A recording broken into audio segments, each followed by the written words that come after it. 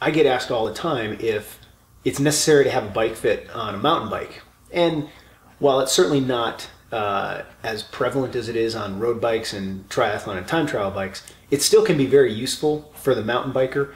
A lot of the same biomechanics issues come up on the mountain bike.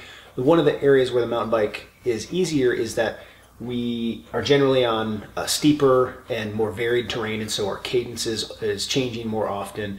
Uh, we're out of the saddle more often, and these things have a natural relieving effect uh, as far as the repetitive stress on our body. But one of the things I run into with a lot of my mountain bikers is I get a lot of clients. We have a lot of people come in with their suspension set up very, very poorly. So today we're going to go through a real quick basic setup of suspension and especially how it relates to bike fit. This is by no means going to be a master class on the subject. There are suspensions out there that can be tuned extremely, extremely delicately and uh, to very fine details. And that's just way beyond the scope of what we're going to do here today. But what we will be able to do is hopefully get you, help you do some of the basics so you can get your suspension set up so that it's just not working against you, essentially.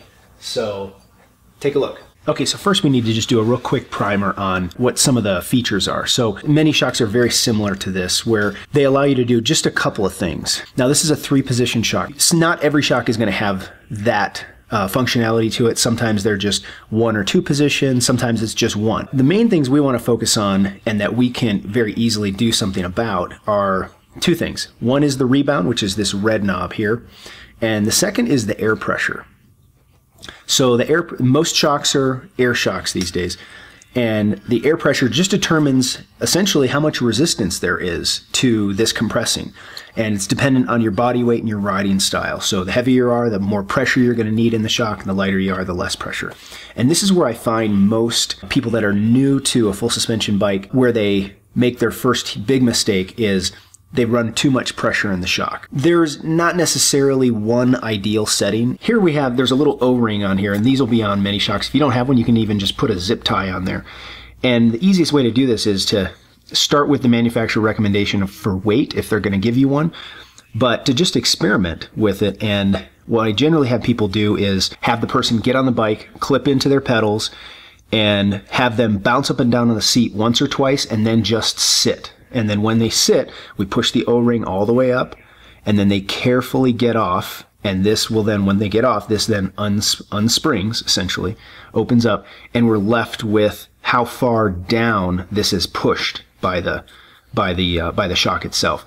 And you know, for if, if you're if you really have to you want you want to ride a stiffer shock, it might be just about there, which is like a, a quarter to a fifth maybe of the full travel, where you know, if you wanted a little more plush, now we're between probably 30 and 50% of the travel of the, of the shock. But somewhere about a third, somewhere about there is where it should be when you're just sitting or just have your body weight on there. Okay, so we're going to add some pressure to this shock because we don't we ha don't have enough in there. So I'm going to take that cap off, and this is just like a looks like, just like a Schrader valve on there. We're going to take our shock pump and thread it on, and just add a little bit of air to this setup. Yeah, and we need to add about 30 or 40 psi. This one's really low. So that's the first thing is making sure we get the air pressure close. The next thing we're going to look at is this rebound. So it's this red knob, and, and on a lot of bikes, even on the RockShox forks and things, uh, a lot of times it is a red, it is going to be a red anodized knob like that, but um, it should even say on there, sometimes they'll have a little uh, a plus or a minus like it does on here, showing, you know, which direction is more rebound or less.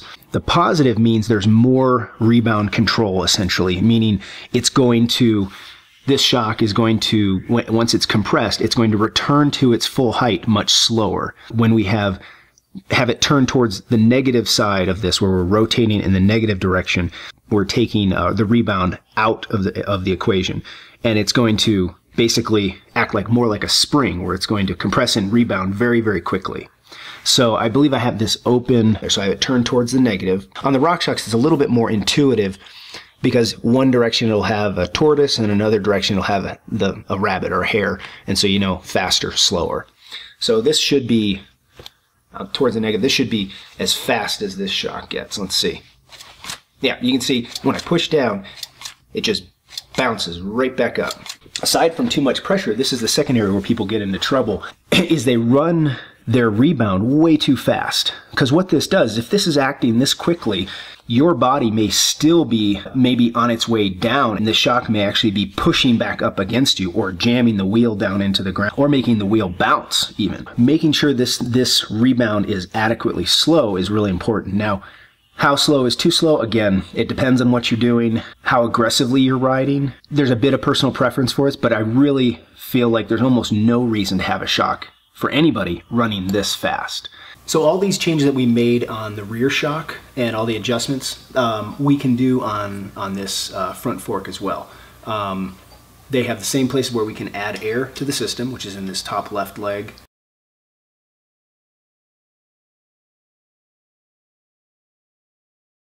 And then the rebound is set on the bottom of this right leg.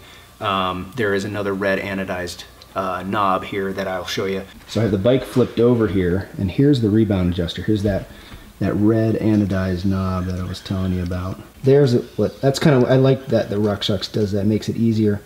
Tells you which direction is faster and which direction is slower. So as far as setting pressure, I think the simplest thing to do, uh, actually, and it, it, works reasonably well for most people, is trying to adhere to the manufacturer's recommendations. There's there'll be a decal on this where you can look up based on how much you weigh what shock pressure you should run in the fork.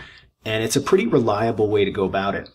While following these recommendations is a reasonably good place to start, it's not the whole story. And there are even some uh, recommendations from the manufacturer printed on the fork stanchions themselves, which will show you where you are with 10% sag or 20% or 30%. And basically you do this the same way we did the rear shock where you sit on the bike, adjust the O-ring, and you see where the O-ring is pushed to as you're sitting on the bike. The best way to go about this is to do some trial and error. What I would do is often start a bike ride and put the O-ring near the seals and then go for my normal ride. If I finish the ride and I hadn't used, say, even half the travel, um, I would know that I need to remove air from the system so that I'm getting a little bit more of that travel. However, if I'm bottoming my fork out and the and the uh, O-ring ends up all the way at the top of the travel uh, after even a moderate ride, then I know I need to add pressure to the system. In general, it's a good idea to try and get as much of the travel out of the fork during your normal riding as possible. If you have the travel, there's really no point in not using it.